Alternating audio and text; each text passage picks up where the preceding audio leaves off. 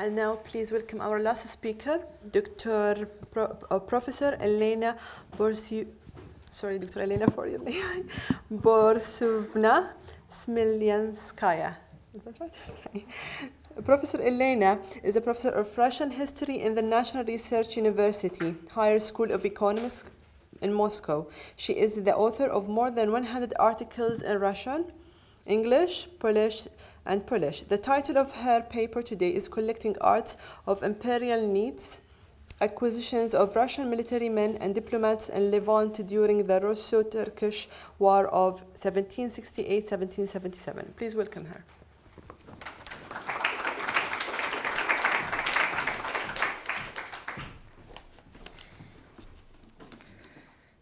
Thank you. First of all, I want to express my gratitude to the mm, Orientalism Museum in Qatar for this incomparable opportunity to take part in this conference. I'm not an art historian, and I came across to the documents and that I want to present here uh, during my work on uh, the history of the first Russian expedition to Mediterranean during the uh, uh, Russo-Turkish War of 1768, 1774. And uh, I will start my uh, presentation with uh, uh, this two quotations about five squadrons. The archipelago expedition, in conjunction with the Russo-Turkish War of 1768-1774, began Russian militaries uh, and military and political presence in the eastern Mediterranean. Catherine the Great made everything in her foreign office Mm, upside down, and special attention was paid on diplomatic support of this military expedition. Russian ambassadors in London and Copenhagen secured British and Danish help for Russian squadrons that had to sail from the Baltic Sea from St. Petersburg to Aegean around the whole Europe. British consuls on Minorca and in Livorno were also engaged in the enterprise on the Russian side. Uh, without this British help, I must uh, point this uh, because I'm in London. Without the British help, the expedition was hardly possible. Military uh, success of this expedition is well known. The great victory of Chesma in June 1770 helped to realize many former dreams. Catherine called these dreams Spanish castles. Uh, to uh, so she, uh, this helped to realize these dreams, uh, to blockade the capital of the Porte, to become in 70s, uh, 74 masters of maritime transportation in the Levant, and to inspect all the ships, both uh, Turkish and European, sailing in this region. Um, in 1771, uh, about 30 islands in southern Aegean accepted Admiral Spiridov's proposal, Admiral was the chief of the expedition at that time, proposal to become subjects of the Russian Empress. And elders and clergy of these islands asked the Empress to accept into eternal protection and patronage the unhappy archipelago. This part of the uh, military history of the Mediterranean presence of Russia is uh, uh, not very well studied. That is why I started my last book with uh, uh, the, the, documentation of the expedition and especially about uh, this um, proposal and about the subjecthood of 30 Greek islands to Russia. In 1774, after the peace treaty of Kuchuk-Kainardji, uh, Russian fleet had to abandon the eastern Mediterranean and archipelago and uh, leave behind their Greek subjects, their incomplete but uh, very well done military base uh, on the island of Paros and their allies, even in Syria and Palestine, who wanted to be their subjects too. Uh, Catherine's subjects. Russia changed its Levantine and archipelago possessions on new territories in the northern Black Sea region and the independence of Crimea from the Porte. But uh, beyond foreign affairs and the military history of the expedition, uh, uh, the expedition radically changed uh, the Russian image of the Levant and the, of the people there. And the, in this paper, I intend to argue two aspects. The first is uh, the changing images of Greeks that uh, Christian Orthodox Greeks during the expedition appeared for Russians to be orientalized or spoiled by the Ottoman yoke. And the second uh, issue is uh, changing image of the Middle East, uh, that uh, where Muslims appeared not to be enemies, uh, but to become Russian allies in Egypt and Syria. And finally, how these changing images influenced Russian acquisitions in this land, from these lands. I will start about Greeks. In uh, 1770s, Russian diplomatic agents through the Europe, uh, through, through, the European press, and uh, the Empress herself, uh, through her correspondence, especially with uh, Voltaire, tried to present the first archipelago expedition primarily as an attempt to liberate suppressed co religionists, and only secondly to attack Turks from the West. Russian intervention during the war was, uh, wel uh, was welcomed by the Greek population, which heralded the Russians as its liberators in the face of the Ottoman oppression. For Russians, the Greek idea seemed to be the idea of a common faith that influenced the political course of Russian rulers for many centuries.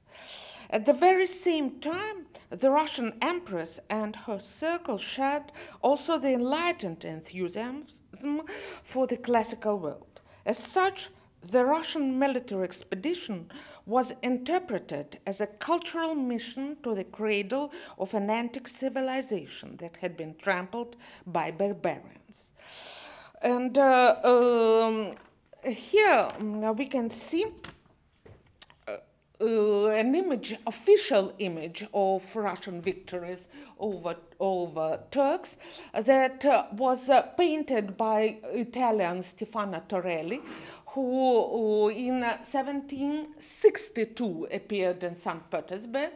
Uh, became an official painter of Catherine II, and uh, in 72 he presented this picture. We can see here uh, this mixture of Christian and uh, uh, classical antique elements. Uh, uh, as well as uh, orientalized corners of Muslims who are also depicted here in their admiration of the Russian Athena Catherine II, Athena or Minerva. Uh, she preferred to be Minerva in uh, some pictures, and uh, especially with this Greek priest nearby ruins of an antique temple.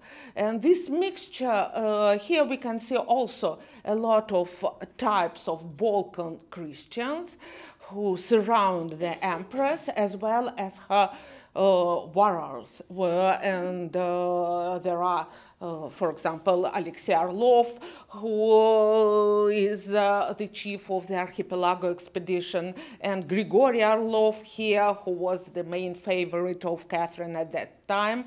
And uh, he was uh, possibly the inventor of this Greek idea of the archipelago expedition as well. Uh, so this is an official version of uh, uh, the Russian intervention into archipelago. the second, the second that I just found uh, on the Isle of Tinos in the Aegean. Uh, this island of Tinos was among these 30 islands that accepted Russian subjecthood. Not a Russian subjecthood, they became subjects of Catherine the Great, but it is almost the same at that time. It was almost the same. And so on, uh, Christ, on uh, was divided at that time into two parts, Catholic and Orthodox. Uh, and uh, Greek Orthodox population of a very small village of Campos uh, that was surrounded by Catholic uh, monasteries and villages asked Alexei Orlov to help them to complete their church they uh, uh, were allowed to complete it and uh, the help appeared under the under the I forgot this word. Uh, well, if uh, Greeks uh, will give the church the name, will consecrate the church to the to Saint Catherine, who was the uh, saint protector of the Russian empress. So uh, this uh, St. Catherine's Church in this small, very small, really now there are only five families there uh, in the uh, village of Campos, they have this 18th century possibly it is uh, uh, it was done by a Greek sculptor in uh, 1772 uh, or 1773. There is a coat of arms of the Russian Empire, two eagles with Saint George on its chest. And uh, it is an ordinary uh, coat of arms, and the Greek sculptor could find this image on every Russian coin that were dispersed in Greek archipelago of that time. But what is absolutely uh, uh, incomparable are these two figures. Uh, uh in uh, pointed caps and uh, in these trousers, pantaloons, that could never appear on Russian coat of arms and uh, uh, possibly he depicted Greeks with their crosses. Uh, the second cross has disappeared already, but with their crosses coming to the Russian coat of arms, coming to Russian empress in order uh, to uh, gain a protection. So we can see this popular image, and that previous one was of Torelli's, Oh, sorry, another one. I'm sorry. I switched off. Okay.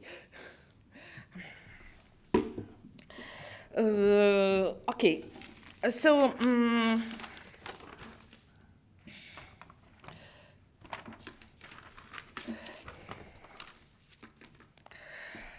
so um, for Russians, the Greek idea uh, seemed to be the idea of a common faith. At the beginning of 1770s, the sponsors and the members of the Russian expedition imagined the Greeks whom they were going to liberate as uh, Spartans holding an Orthodox cross as in their hands, not like these Orientalized uh, Greek with crosses that appeared on uh, the Tinos coat of arms, but uh, um, in another way. Uh, preliminary information uh, received from the Balkan region assured Catherine II that uh, the Greeks were ready to take arms against the Turks and that if the Russian fleet comes to the eastern Mediterranean, the Greeks would become combatants in the war against the Ottoman Empire. But from the first actions in Peloponnesus in the spring of 1770, the image of Christian Spartans was disabused. After failures in Morea, many illusions about Orthodox unity dissipated. The Russians started to criticize the Greeks for their inability to fight in a regular army against their enemies. Even that Maniots, traitors, and robbers prevented Morea from the use of the Greek liberty. The word about the, uh, these words about the degradation of the Greeks who forgot their ancient Greek liberty appeared in Russian documents in the 1770s as they appeared in Western travel literature uh, since the end of the 17th century. The difference between Western and Russian points of view, however, was the origin of the decline of the classical culture in Greece. Western travelers and writers blamed not only the Turks in the degradation of culture, but also the Byzantine Orthodoxy and the Greeks uh, and the Great Schism of 1054 uh, in the degradation of Greeks culture. That is why, in the search for ancient ideals, uh, Westerners often desired to find an almost mythical imagined Greece, the land of Iliad, the land of Odysseus. Russians in the 18th century, of course, didn't blame the Great Schism as Byzantine was considered to be the mother of the Christianity in Russia. But Russians found it out at that time that modern Greeks were very much spoiled by Oriental laziness. And uh, uh, here we can see uh, the image of Alexei Orlov uh, by a known painter, uh, late 18th century, surrounded by uh, these possibly Spartans and these orientalized Greek women. And uh, it, is, it is so called Orlov with grateful Greeks whom he came to liberate. but um, this next image uh, this is uh, the very popular, only in Russia, the image of uh, the Greek dance on the Isle of Paros.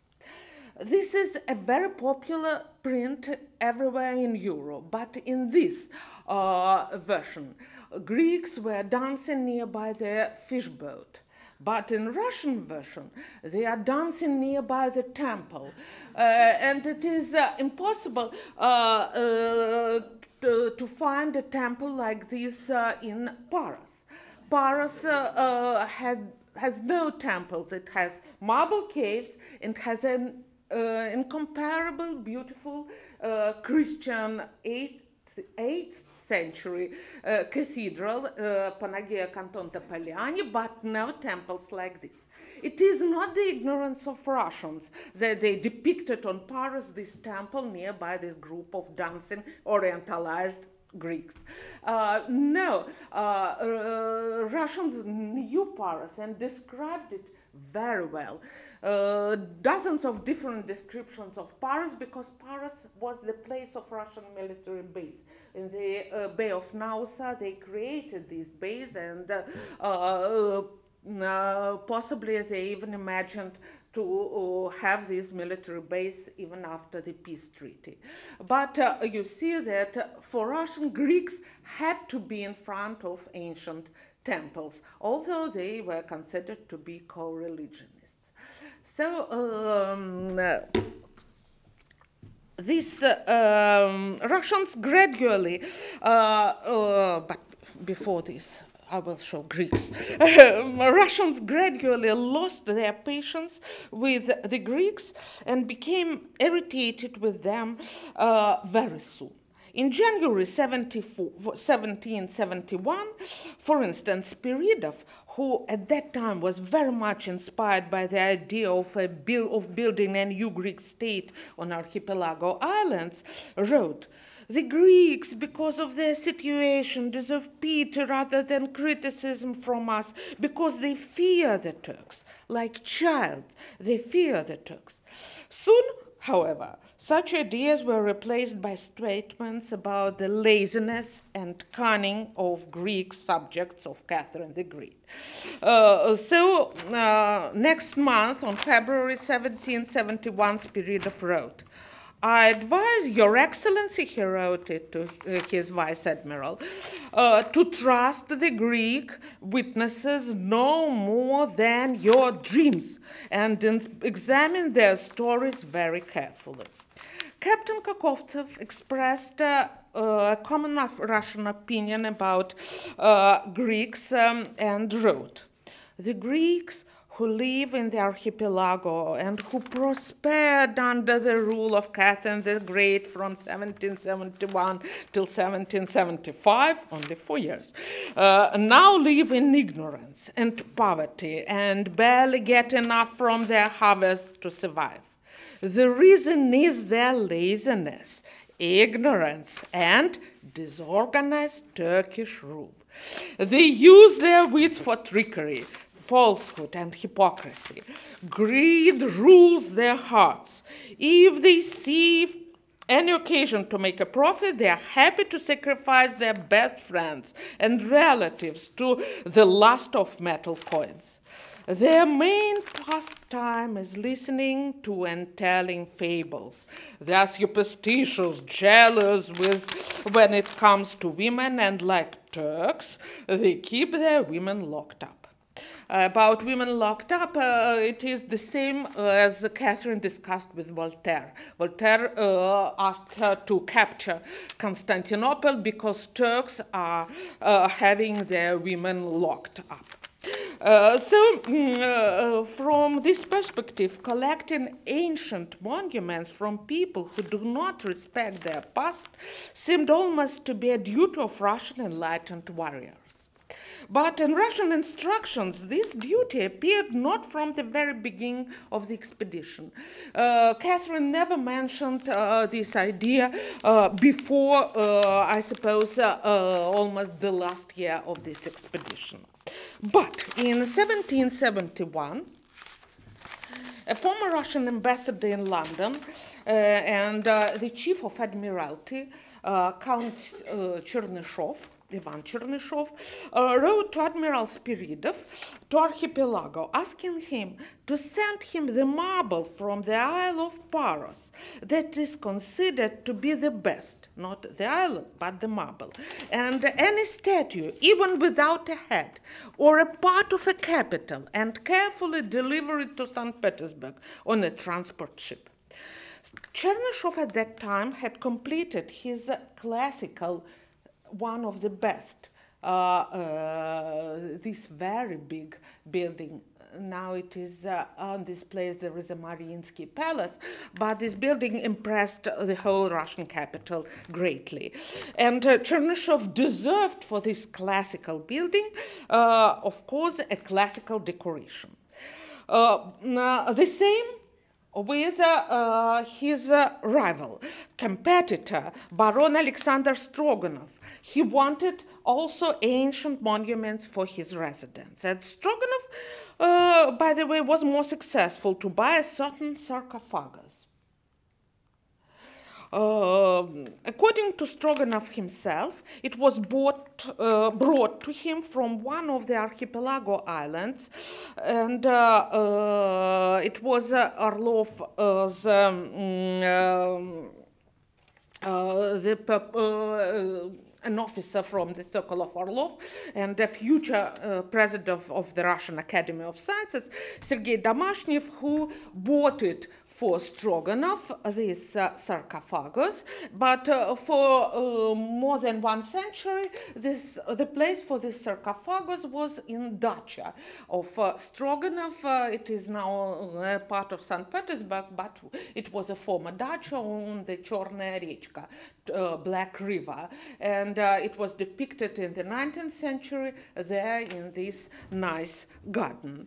Only in the after 1917, this sarcophagus was taken from this dacha to the state hermitage, and uh, it is uh, considered now to be uh, not, of course, the sarcophagus of Homer, but the Roman work of the second century AD. Uh, but it is uh, in the main ex exhibition of Saint Hermitage. The Chernyshov's idea to collect ancient marbles on archipelago islands at Mm, at first made Admiral Spiridov embarrassed, as the Empress him, herself never ordered this for the expedition staff. The Admiral answered his chief that the marble on Paros is not so good. It is only white, without any other colors, that all the ancient statues had been already taken away by foreigners or to Constantinople. Uh, but then, in his next letter, promised to deliver to Count Chernyshov, he was his chief Chernyshov, only newly cut marble blanks. He added, all ancient statues and other things will be collected for imperial collections of Catherine the Great. Here there appeared the idea of collecting uh, arts for uh, imperial needs by uh, Russian warriors in archipelago.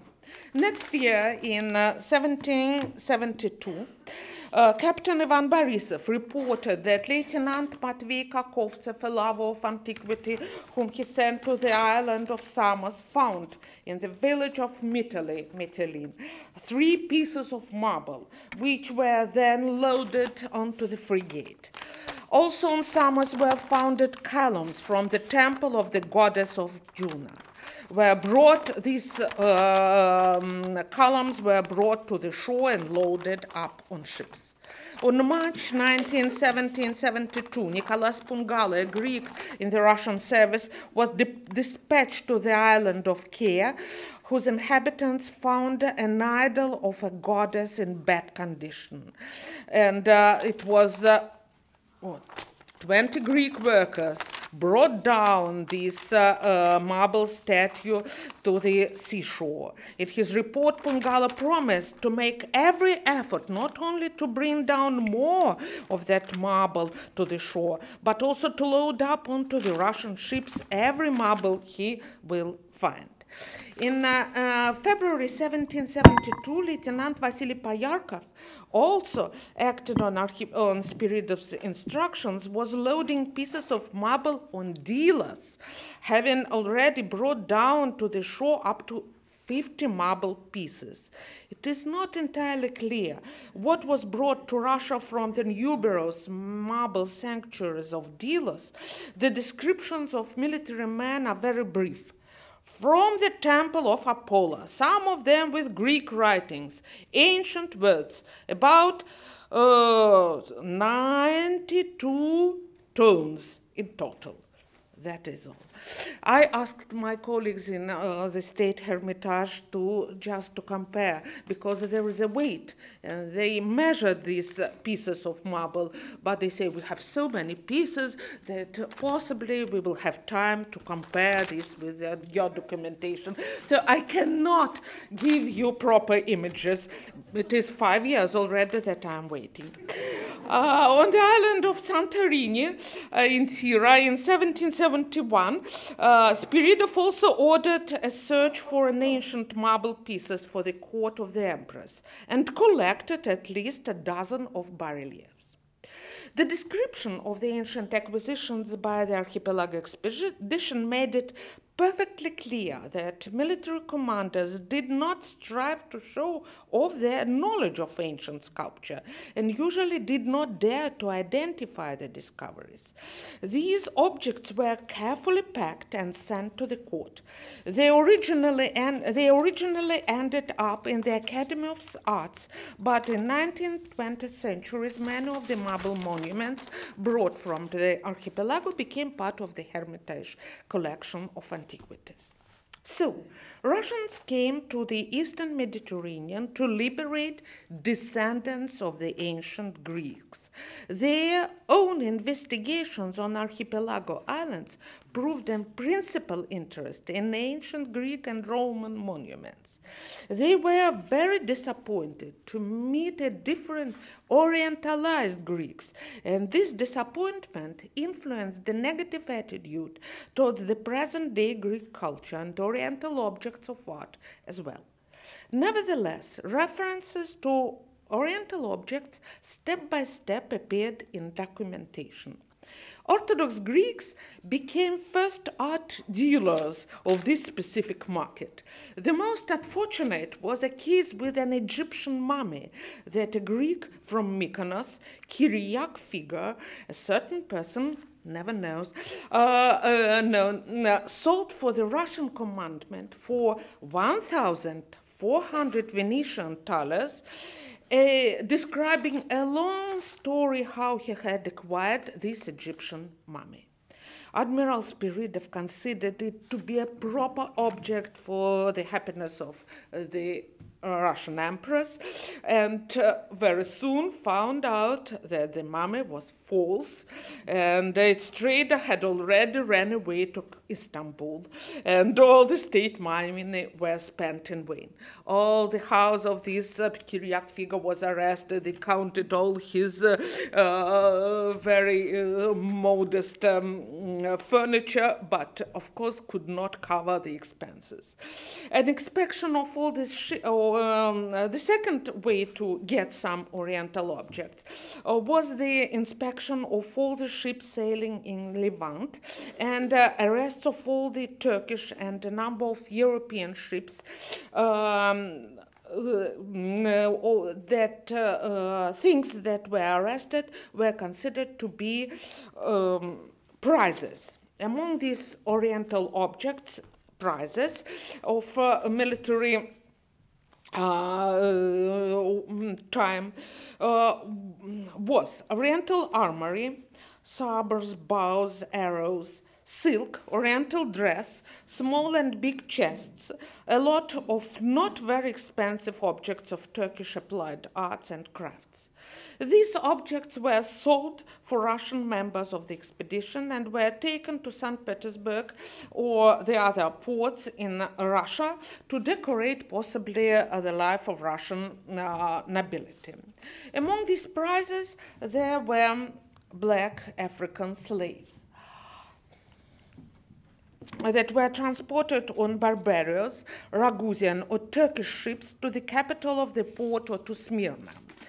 When these ships were captured, slaves were brought to the Isle of Paros and created many problems for the Russian military commandment.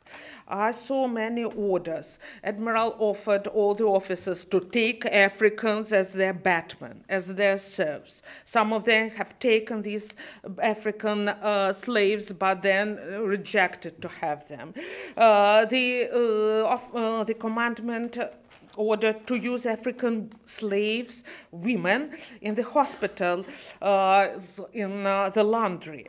But later, uh, Admiral Spiridov preferred not to deal with this kind of prizes. Uh, and the last ship with slaves that was captured by the Russian just before the peace treaty was, they decided to take only male slaves for the help of the military base, uh, but all women were transported to Smyrna to get rid of them. Although African children became very much in fashion as companions of aristocratic women in Russia. And uh, I found in the correspondence it is a very rare uh, possibility to find the correspondence from St. Petersburg to Archipelago, private part of it.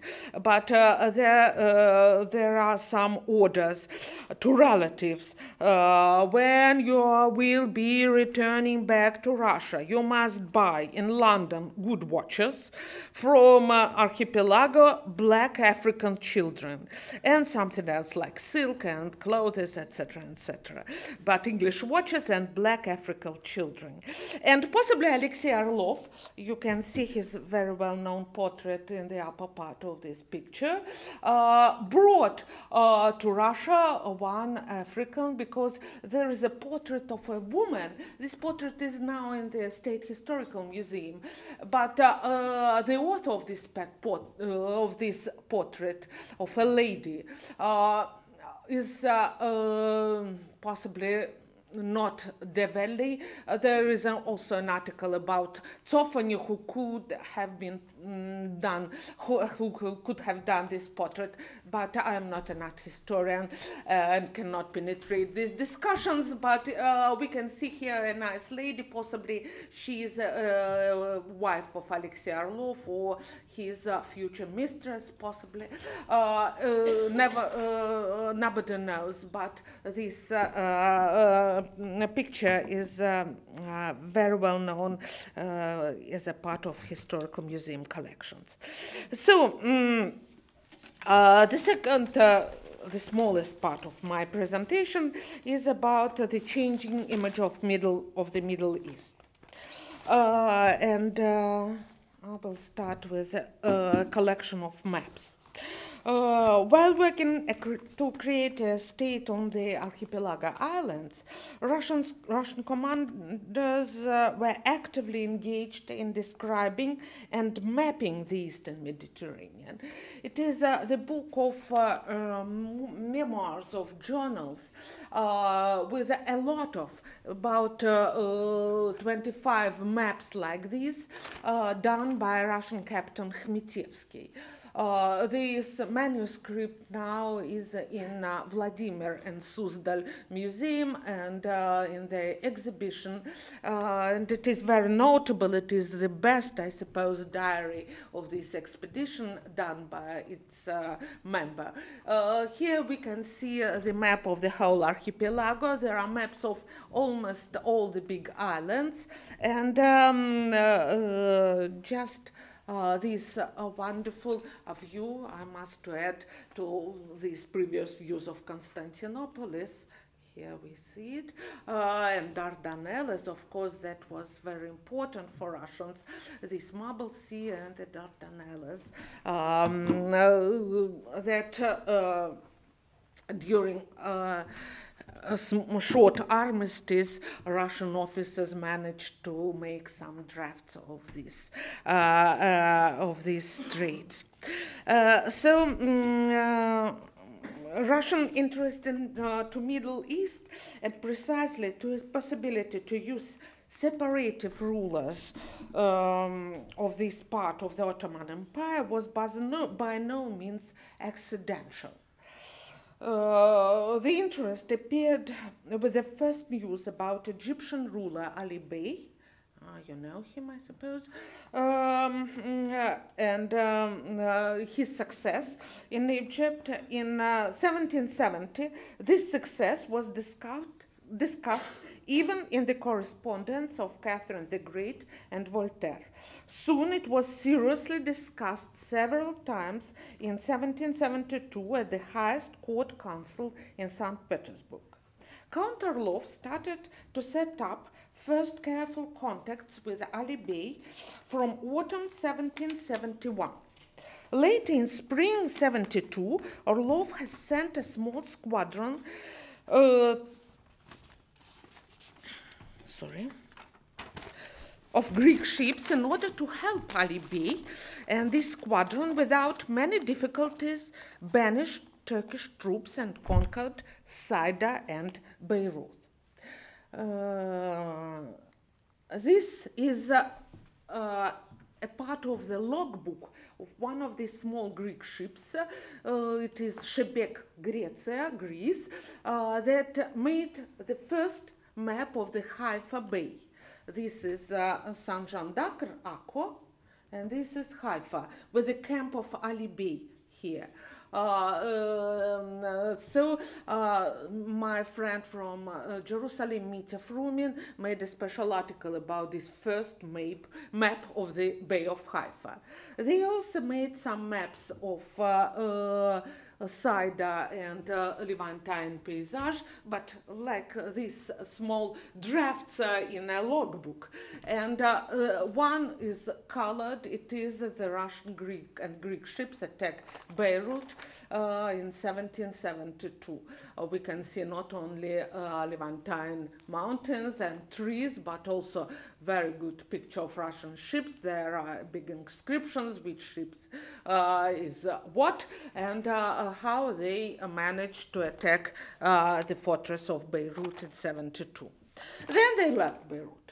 Uh, only in uh, 1703, uh, in 1773, when Ali Bey has been already uh, defeated, uh, deadly wounded, and died, two squadrons of Russian ships with some artillery and troops again reached Lebanese coast, again managed to capture Beirut. So two times they captured this capital, and even to obtain written assurances of two Arab rulers to become subjects of Russian empress. One of them was Drusian Prince Yusuf Shihab. The second one was the ruler of Akko. Uh, it, uh, his um, uh, Sheikh Zahir al-Amer. Sheikh uh, uh, after uh, 74 when Russian troops left archipelago was captured and killed. What was collected in the Middle East? Like first Russian Arab contacts, first Russian emissaries to the Near East also seemed to be adventurous. They, saw, uh, they uh, had no information about uh, this coast, about this part of Levant, Possibly they could read in their childhood some descriptions of Russian pilgrims to the Holy Land, but I doubt about it. Uh, so uh, one of them, Lieutenant Lvov, who was sent to draw maps of Arab coast and up to the delta of uh, the Nile. Uh, then there was a Preobrazhensky officer, I suppose uh, German or Lithuanian by origin, Magnus Baumgarten. He dared even to discuss with Arab, Arab princes uh, and Arab sheikhs accepting their lands under Russian protection. In general, for the Arab world, these contacts meant an overcoming of cultural and political uh, isolationism. Uh, for Russia, inclusion of a new world into her culture and international relations. But Count Alexei Orlov managed to make some profit for himself. He was interested in horses we discussed yesterday about uh, this problem of horses. And uh, um, uh, that is why uh, the main aim of his envoy, Magnus Baumgarten, was not possibly maps of the coast, but to obtain Arabians and best horses for his commander, and only secondly to make maps and observations. In fact, Count Alexei Orlov obtained many Arabians, including these very famous for Russian history, famous horse Smetanka. Uh, it is a picture of 70s. Uh, he paid for one Ottoman imperial aristocrat. Uh, he paid, it is, this horse was not captured. It was uh, bought for 60 thousand rubles. At that time, uh, a good uh, horse, uh, the price for a very good horse was five thousand. This was bought for 60 and with uh, very many precautions brought to Russia. And uh, it uh, appeared to be uh, even the foundation of the Orlov Trotter. So it is famous and its sculpture decorates uh, the uh, nowadays um, Orlov's. Um, stables in Orlov Orlov, Orlov's in uh, uh, his uh, former possessions. It is very well known that Orlov accepted horses with precious harness from Arab allies, including Druze princes. They uh, mention it in their letters to him. But unfortunately, I could find only the image of the harness sent to Catherine the Great but by Abdullah Hamid in 1775 when they celebrated the peace treaty of Kuchuk-Kainarji. Now it is in Kremlin museums. To conclude, Beyond foreign affairs, diplomacy, and international military history, the documentation of the Russian archipelago expedition in 1769-1775 shows that the Russian empress wanted more than a glory of her victories.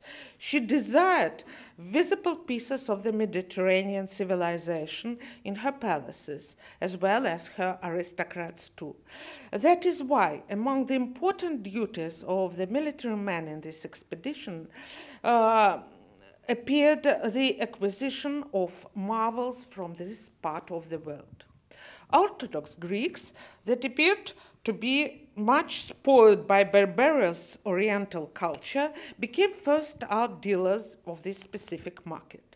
Objects from, Levant, from the Levant didn't dramatically influence the lifestyle of Russian nobility.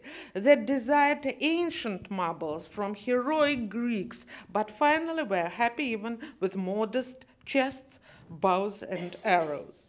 The most important is that the image of the Levant since the end of the 18th century consisted not only of Christian objects of pilgrimage, as it was for centuries before, but of colored maps and day-to-day impressions. In next decades, this very image will influence the first Russian Orientalist works. Thank you very much.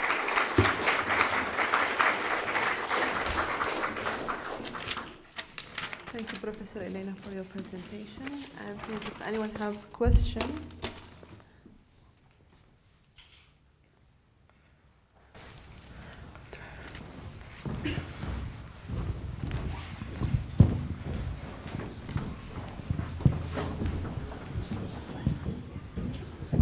Thank you so much for your most interesting presentation. Thank you. Um, I was, I, I, I didn't quite understand. It's a very small point, but it might be interesting if you could just throw a bit more light on it.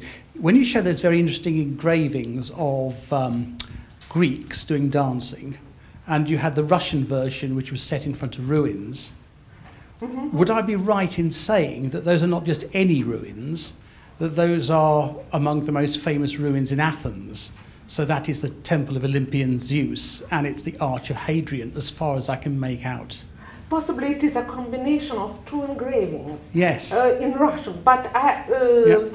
uh, in, on Paris there are special collectors of these engravings of Greek dance of, on Paris, and they she she has collected uh, about uh, different, but uh, more than twelve prints from the early 18th century till, till the middle of the 19th century, and always this dance uh, was wi- depicted nearby the boat, but without this temple. But in Russia, I found this only print, and uh, only in one uh, early 19th century book. And uh, it was never uh, copied, but in that book they appeared to combine it. They wanted to have this image with the ancient temple. I have no idea. Possibly it is from Athens or possibly No, it is. Egypt. Yeah, I'm very is sure. From, it is a, a Yes. temple of Zeus. Fe- Temple of Zeus and the Arch of Hadrian. Mhm. Yes. Thank you very much. It is a, it is a good uh, to know it. Thank you.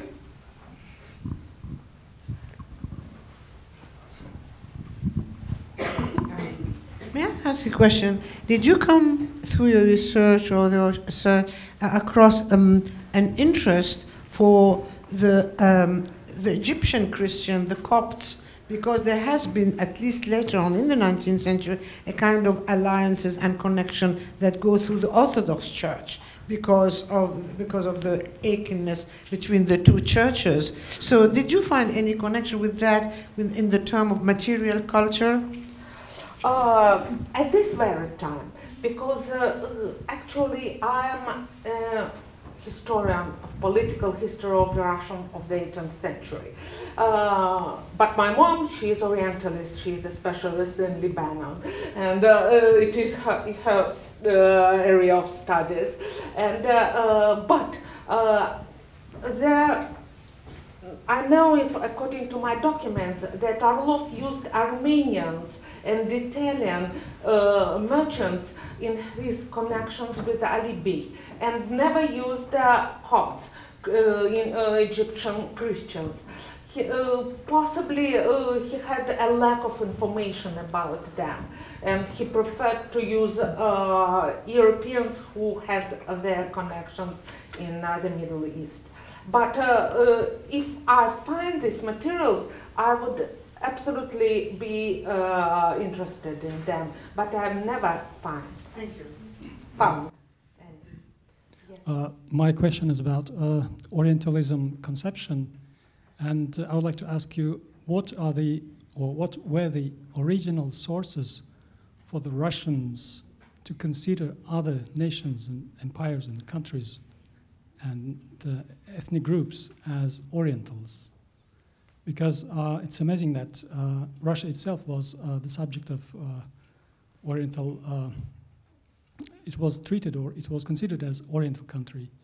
I remember the debate between uh, the between Adeeb Khalid and Nathaniel Knight, whether Russia was the subject of Orientalism or so. For Western countries, I know there are some sources, but what were the original sources for Russia to consider others as Orientals? Thank you. Thank you very much. Uh, there is a problem, of course, for Europeans, Russians were or absolutely Oriental, and we uh, read uh, Larry Wolff's this uh, depicting uh, the Eastern Europe. So Russian were Easterners, and uh, so uh, a lot of images of Russians had this uh, marks of Orientalism. And uh, even uh, British members of the expedition described how Russians uh, behaved their, uh, themselves in Greece. For example, uh, now I'm editing Admiral Elphinstone's papers, and he depicted Russians to have baths original Russian baths on Greek islands because bath was a, just a sign of Russianness. And uh, he wanted uh, just to point out that British officers were others than Russians who were semi-oriental, of course, because of their baths. And uh, like Turks, they do bath uh, to have them once per week, but uh, of course a British officer wanted to have uh, his bath every day. Uh, that is uh, only a couple of marks like this. But Russian, for Russians, of course there was a division at first between Christians and non-Christians. And when they interfered the Mediterranean world, they considered that uh, not only Orthodox Greeks, but the whole uh, Christian Europe will help Russia to liberate Christians and to make, as Catherine II wrote to Greeks, to, be, uh, to uh, create a new part of Pacta Christianica in Europe. Uh, she meant Balkan uh, Greeks. And uh, uh, when she found out that uh, French government didn't want even to help to, mm, to accept even a single Russian ship in her ports, that Maltese order didn't want to accept any Russian ship in its port, only British Minorca helped Russians and uh, a free town, uh, city of Livorno helped Russians to just restore ships, etc., etc. So uh, um, uh, at first, this idea of the Christian unity dissipated and disappeared, and uh, there appeared uh, Muslims in uh, Egypt and uh, Sheikh Zakir Ammar in Akko, who could help Russians better than European Catholics. And they appeared another attitude. And Greeks who betrayed Russians, who uh, didn't want to help them in uh, Peloponnesus. Uh, this was the difference. So this image became colored in different col uh, colors than it was before the beginning of the expedition.